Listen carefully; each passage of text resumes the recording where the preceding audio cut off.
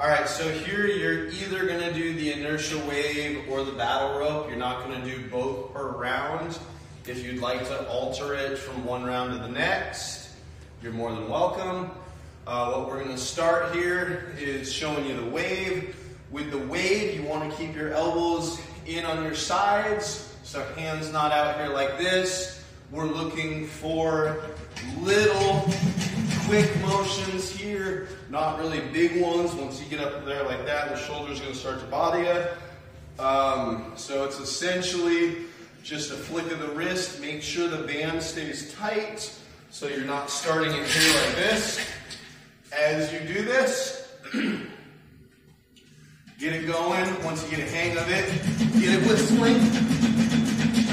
15 to 30 seconds. When you're done, please don't just let go. Walk it in, let it die itself out. And then from there, the other option is the battle rope.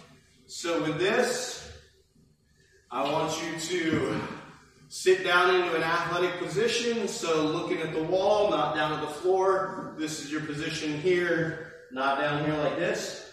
Um, and again, with this, you want to keep your hands below shoulder height, not going up here like this, but we are looking for a little more power.